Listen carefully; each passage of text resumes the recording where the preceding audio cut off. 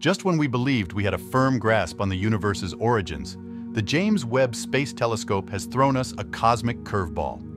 In a surprising twist, the latest revelation from the JWST challenges our understanding of the Big Bang, unraveling mysteries about what transpired before the universe came into being. Join us in today's video as we embark on a fascinating journey through the JWST's groundbreaking discovery, shedding light on the enigmatic events preceding the Big Bang.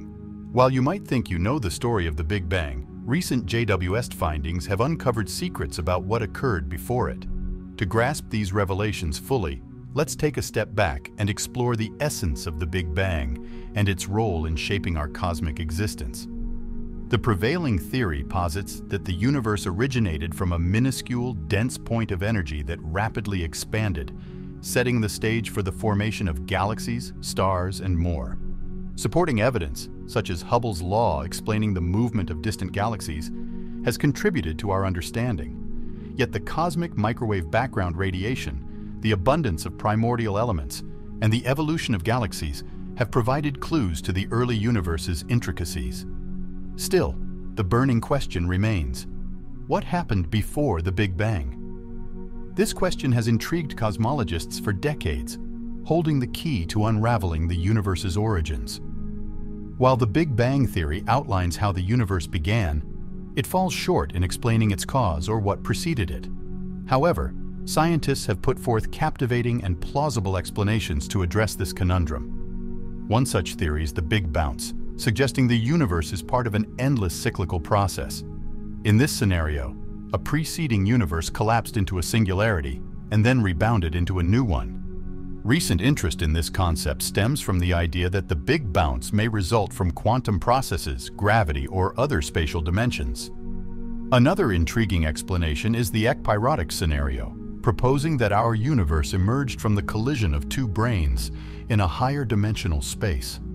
This collision induced rapid inflation, smoothing out the universe's initial conditions.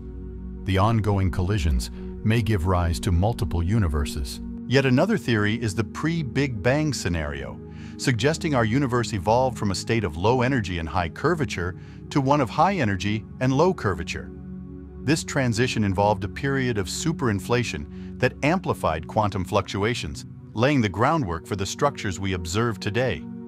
Today we explore a captivating concept known as the no-boundary proposal, which suggests that the universe has no limits in space or time. According to this theory, the Big Bang marked a smooth transition when the universe's size became incredibly small. In this perspective, the cosmos began with a quantum fluctuation from nothingness, guided by a wave function that encompassed all potential histories of the universe. The growth and evolution of the universe have long fascinated scientists, and a recent breakthrough from the JWST has unveiled the earliest proto-galaxy cluster ever discovered, just 650 million years after the Big Bang. The universe's formation followed a hierarchical process, starting with a nearly uniform distribution of matter and energy. However, cosmic inflation introduced small perturbations that eventually led to the creation of peaks and valleys in density, as evidenced in the cosmic microwave background radiation. Gravity played a pivotal role in shaping the universe's structure, but its influence was constrained by the speed of light. Over dense regions, gravity attracted nearby matter, initiating a gradual collapse and the formation of large-scale bound objects. Simultaneously, molecular clouds collapsed on smaller scales, giving rise to the first stars and star clusters. The earliest overdense regions collapsed within just 50 to 100 million years, providing a glimpse into the universe's nascent days. When stars form, they create tumultuous environments filled with radiation and wind, making it challenging to predict their precise structure. Early clumps of mass drew surrounding matter, merging to form the universe's initial massive galaxies. Some of these galaxies have been identified, many of them colossal, rich in heavy elements, and continuously producing new stars. The JWST holds the promise of discovering even earlier galaxies and stars, However, the physics governing the creation of galaxy clusters is more straightforward. Three key factors, the universe's expansion rate, the initial overdensity on the relevant cosmic scale, and the rate of gravitational growth over time, primarily determine the formation of these clusters. Unlike the intricate physics within a galaxy, only gravity plays a crucial role in galaxy cluster formation. Before the powerful JWST, astronomers used various methods to unveil the splendor of galaxies throughout cosmic history. One approach involved identifying large groups of galaxies in the same field of view with similar redshifts but differing velocities. Galaxies within a cluster exhibited rapid movements relative to each other, reaching speeds of several thousand kms. This method led to the identification of nearby galaxy clusters, including the renowned Coma and Virgo clusters. Another technique involved detecting galaxy clusters heated by intense processes, such as gas cloud collisions or star formation, emitting X-rays detectable with specialized equipment. X-ray emitting clusters not only aided in identification, but also provided valuable insights into their masses, gas contents, and merger histories. Finally, we unveil the intriguing discovery of galaxy clusters through the collective gravity effects, expressed in both strong and weak gravitational lensing. When we look at a huge gathering of galaxies known as a galaxy cluster, we can distinguish it from a group of isolated galaxies by examining the lensing effects created by the mass present between these individual galaxies, known as intra-cluster matter. Take CLJ 1001 plus 0220, for example. It's a nearby, well-developed galaxy cluster containing 17 distinct galaxies. More than half of these galaxies are starburst galaxies, emitting light 2.7 billion years after the Big Bang. Now, galaxy clusters don't start as fully developed entities. They go through a developmental phase known as the protocluster phase. Protoclusters are groups of galaxies that haven't heated up enough to emit X-rays yet. They represent the earliest instances of groups of galaxies in a similar location in space. Using ground-based observatories like Subaru, Keck, and Gemini, scientists have identified two distant protoclusters. One of them includes 44 galaxies at a redshift of 5.7, corresponding to an age of 1.1 billion years after the Big Bang. The other consists of 12 galaxies at a redshift of 6.6, corresponding to an age of 800 million years after the Big Bang. These protoclusters were found to be in the process of becoming gravitationally linked. JWST's incredible cosmic vision is expected to surpass this cosmic record by revealing the earliest known cluster from unimaginable times. In the meantime, Three surveys conducted by the JWST JADES, GLASS, and CEERS have provided more insights into the Big Bang. CEERS identified four galaxies within a small area of the sky, all at the same distance of 4.9 redshift. This corresponds to a protocluster that existed just 1.2 billion years after the Big Bang. Within the GLASS field, which includes the magnifying effects of the foreground galaxy cluster Abell 2744, the possibility of even deeper discoveries exists.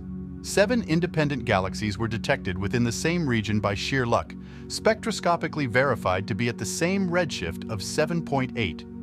This represents the earliest known protocluster of galaxies at a time of 650 million years after the Big Bang. The cluster's name, A270044 underscore Z7 underscore P90, reflects its discovery in the lensing field of Abell 2744 and its redshift of 7.9. This work unveils the most distant protocluster of galaxies in the universe to date and emphasizes the significance of detecting and validating all distant galaxy candidates for a single entity. Although some of the discovered galaxies were not linked to the protocluster, some candidates still lack spectra, highlighting the importance of observing them researchers quantified the mass and velocity dispersion of the protocluster and made a fascinating discovery. The collective mass of the seven-member galaxies is roughly equivalent to 400 million suns, nearly equivalent to the mass of the present Milky Way, setting a lower limit on the protocluster mass.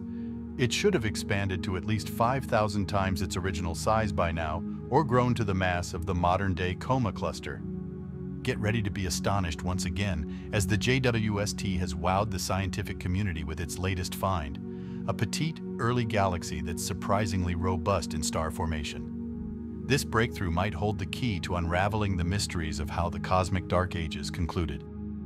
Meet RxJ 2129 underscore Z95, a galaxy dating back to roughly 500 million years post-Big Bang observable at a redshift of 9.51. This means we're witnessing it as it existed a mere 510 million years after the universe's birth. Despite its vast distance, the galaxy's faint light got a boost from the gravitational lensing effect of a massive foreground galaxy cluster, RxJ 2129, 6 plus 005.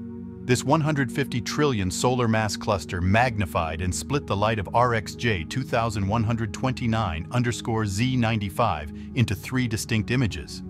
The JWST's NIRSpec instrument verified the galaxy's redshift and uncovered strong emissions from high hydrogen and oxygen gas clouds within RxJ 2129-Z95. Spectroscopic analysis of the galaxy's emission lines unveiled some remarkable features, RxJ 2129-Z95 might be small, but it packs a punch. With a diameter of only 105.6 light-years, it's minuscule compared to our sprawling Milky Way, yet matches our galaxy's star formation rate, making it a powerhouse. The JWST is revealing that high star formation rates were common among early galaxies, but RxJ 2129 underscore Z95 stands out. Its radius is at least three times smaller than other galaxies, indicating an enormous amount of star formation squeezed into a tiny space. This supports the idea of hierarchical galaxy formation, where smaller galaxies form first and merge to create larger ones. Interestingly, there's no sign of an active supermassive black hole at the center of RxJ 2129 Z95, which could be crucial in understanding the end of the cosmic dark ages. The lack of a visible black hole suggests that radiation from bright young stars might be the primary force that ended the Dark Ages. However, measuring the amount of ionizing radiation produced by the galaxy is needed to confirm this theory. If there are more similar galaxies out there, they could play a vital role in the ionizing photon budget. To learn more, additional observations of galaxies at similar redshifts are needed. With the JWST already confirming several very high redshift luminous galaxies, astronomers are sure to have plenty more exciting discoveries in the near future.